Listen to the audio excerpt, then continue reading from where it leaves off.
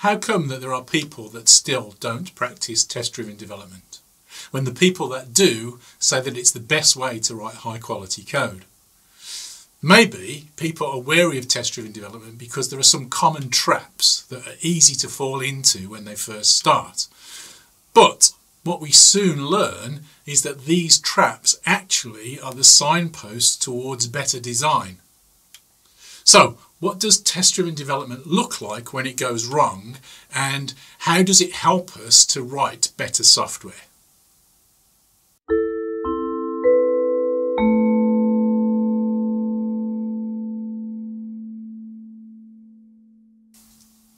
Hi, I'm Dave Farley of Continuous Delivery. Uh, welcome to my YouTube channel. If you haven't already, please hit subscribe and if you enjoy the video at the end, hit like. In this episode, I want to describe five common anti-patterns in test-driven development. I think that test-driven development is one of the more important advances in software development that's happened during the course of my career but it hasn't taken off in the way that I expected to when I first learnt about it. It is widely practiced in all sorts of industries with all sorts of different technologies, but it's not the starting point for every team, which I think it should be. I wish that more teams practiced it and saw its benefits. Perhaps one of the reasons that it hasn't become ubiquitous is that it's easy to make some common mistakes that mean it doesn't work too well.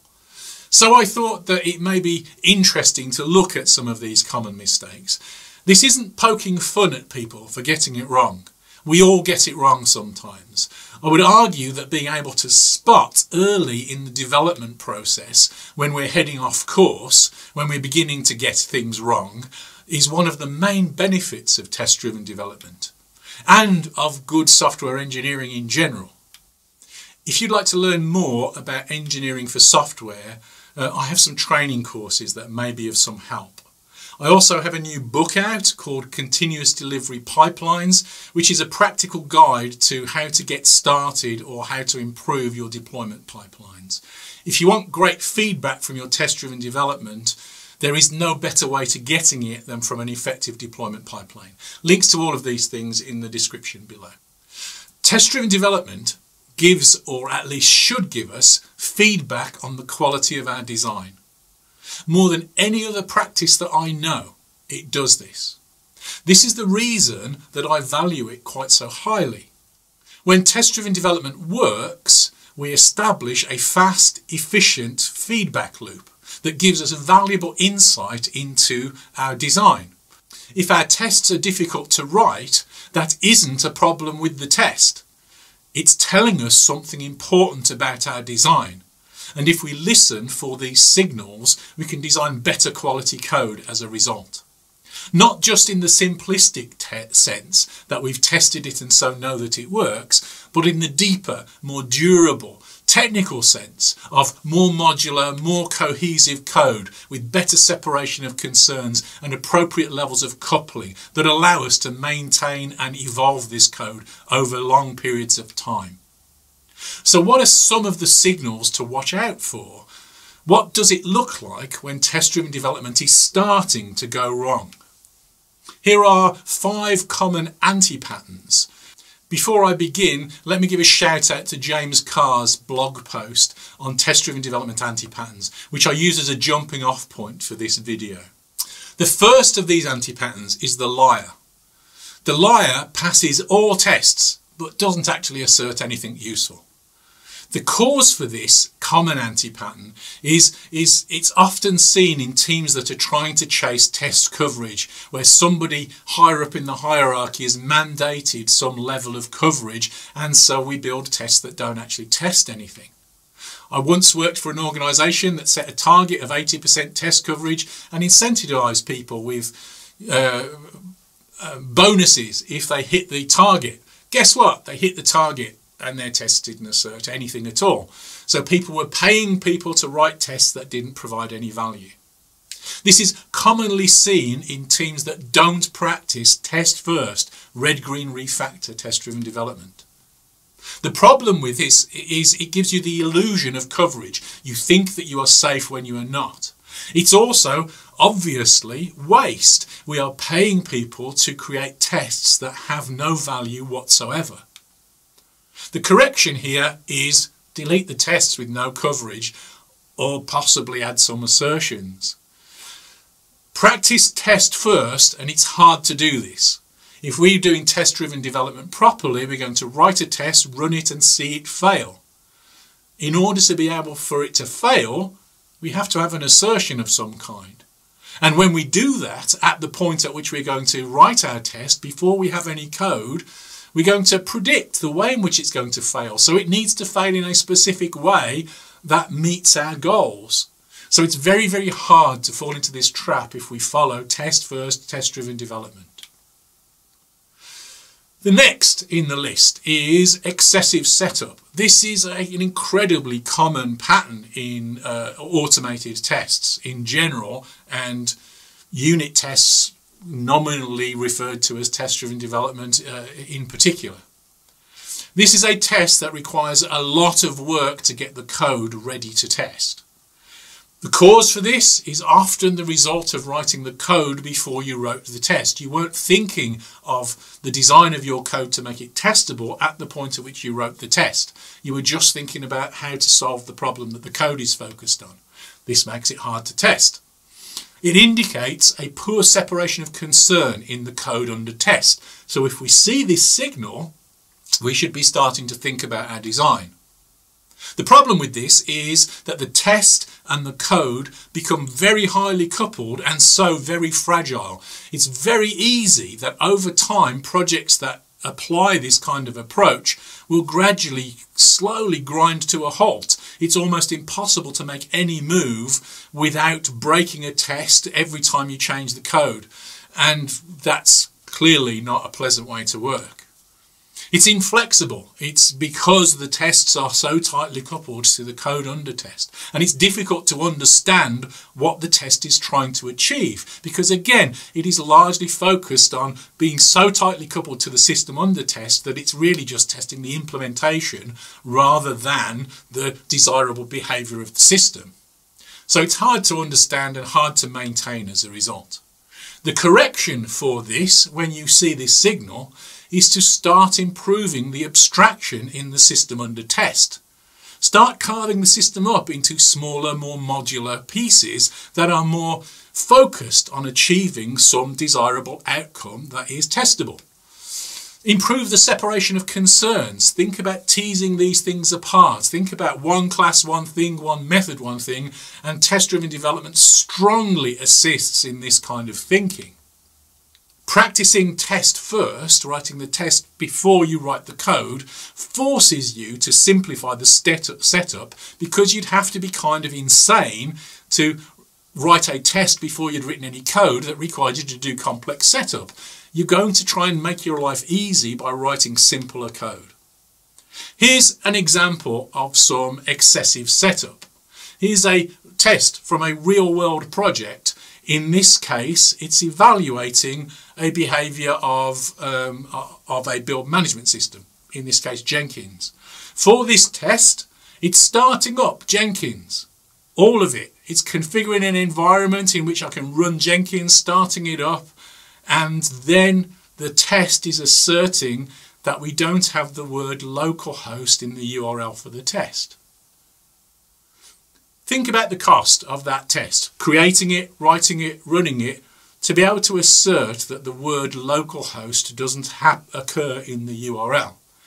This is waste. You would never in a million years write a test like this before you'd written the code. This is clearly a test that was written after the fact. If I was approaching this from a test-driven development approach, I'd probably write something more like this. I'd write a test that asserted that my URL didn't have uh, a localhost in it, and then I would write some code that fulfilled the needs of that test and gave me the result that I was looking for.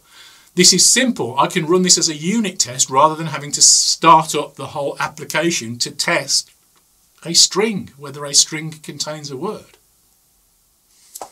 Third in my list of anti-patterns, the giant.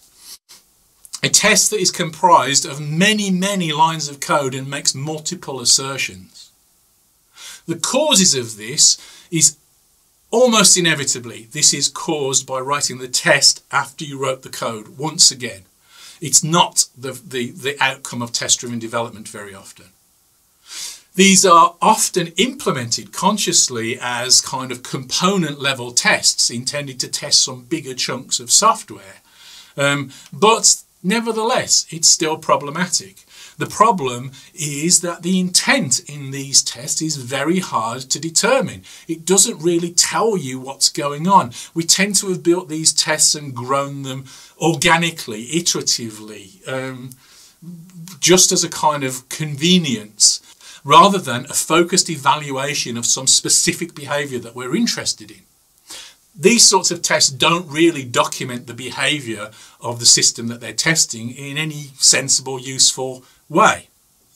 They tend to be, once again, highly coupled to the system that they are testing because they're written after the fact. And so they tend to be very fragile.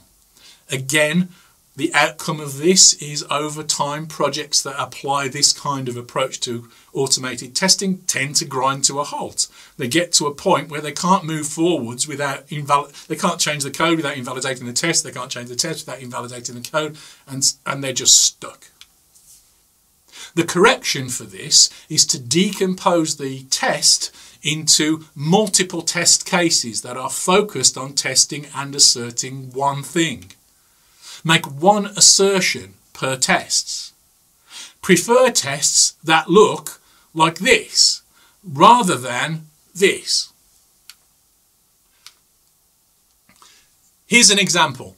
Again, from the wild, this is, this is a real test in a real project. And in this test, you can see this doesn't really look like the second version of pattern that I recommend, more like the first. It's big and complicated.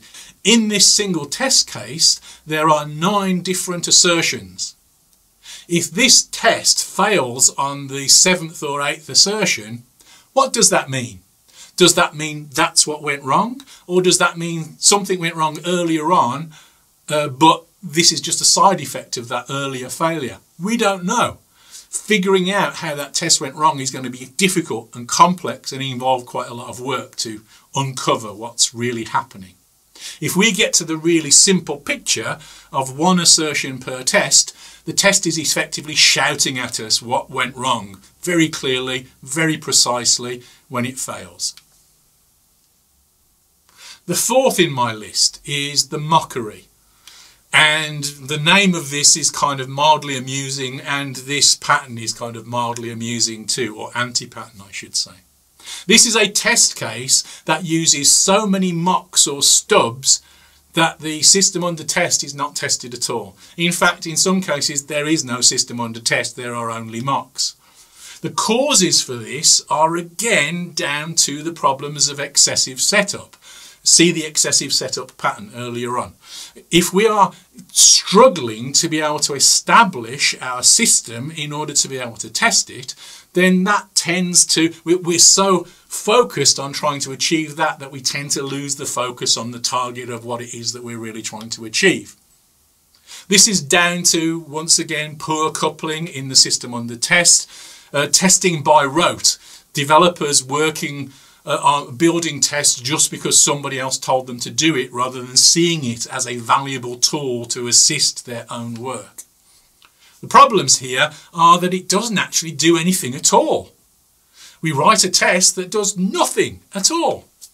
I suppose that we could say that the test is not readable, it's poor as documentation of the intent, it's highly coupled and so very fragile. Over time, again, the projects tend to grind to a halt as a result of this kind of overcoupling. It's difficult to understand and maintain what's going on. But, I repeat, it doesn't do anything at all. Here's a mockery example. Uh, here's, a, here's, a, here's, a, here's a test case. It looks reasonable. But here's the setup for this test case. And in this, if we look carefully at this, both the car and the engine are mocked out. And those are the only things that we're testing. So basically all we have here in terms of production code are two interfaces with no implementation and that's what the test then evaluates. This is just waste, it's just coupling for no reason. This is a waste of time, a waste of effort, a waste of CPU cycles when we run it. The correction for these kinds of problems is to review the design of the system under test. Start thinking about testing as a tool to achieve some outcome rather than a chore that you're forced to just implement because somebody else told you to do it. Improve the abstraction and the separation of concerns in your design is going to reduce that horrible setup overhead that tends to lure you into these kinds of ridiculous situations. Practice test first development because, again, that's going to tend to keep you sane. You're not going to write those complex setups, those excessive setups, um, if you're writing the test first because you're going to very quickly say, why am I doing all of this work just to test this thing? Maybe think a bit more carefully about what it is that you are trying to test. Focus on the behavior that you desire from your software rather than the technical implementation of it. The last in my list for today is the inspector. This is a test case that violates encapsulation in order to make assertions. The causes of this is it's nearly always the result of writing the code before you wrote the test. Striving for 100% test coverage is also a common cause of this kind of failure. I think that test coverage is a very poor metric for success. Teams that practice effective test-driven development do get great test coverage, but using test coverage as a target tends to bring out the wrong behaviours in teams if they're not focused on what the real value to them is. And the real value to them is that test-driven development makes their designs better and their work easier. It's not about coverage, it's about test-driven development as a tool to evolve better designs. The other cause for this kind of failure is uh, no or improper use of dependency injection can also result in this kind of failure. Tight coupling between tests and the system under test is another one of these uh, of the problems that kind of comes with this. Uh, they are these systems tend to be so highly coupled and so very fragile that over time, once again, projects tend to slow down and grind to a halt. I've repeated that phrase several times in this video. That's because that's one of the common objections to test-driven development. And from my perspective, what I've seen in my career and my practice of test-driven development is that that's a symptom of many of these cases and often not really a failure of test-driven development, it's a problem of after-the-fact unit testing, which is a very different thing. The correction to this is to never compromise the encapsulation of your system to support testing. Instead, design code that is testable from the outset. Here's another example. This is an example of, uh, again, taken from a real code base, a real open source code base. And there's a bunch of stuff here. We're testing some stuff. We're looking at some various various attributes of this code. It's a fairly unpleasant test as we can see. There's a whole bunch of complicated setup to get this into a state where we can do some work. And then one of the assertions is this. And this, as far as I could find searching the code base, this method does not exist anywhere in the production code. The only place where this method is ever used is here in this test. This method was added to the code in order to support this test. Again, I think that you wouldn't do that if you were doing writing the test first. So I think this is clearly a test that was written afterwards. I think that you wouldn't do that if you were trying to avoid coupling with the code on the test. You certainly wouldn't do this if you were focusing on trying to assert the behavior of the code that you were testing.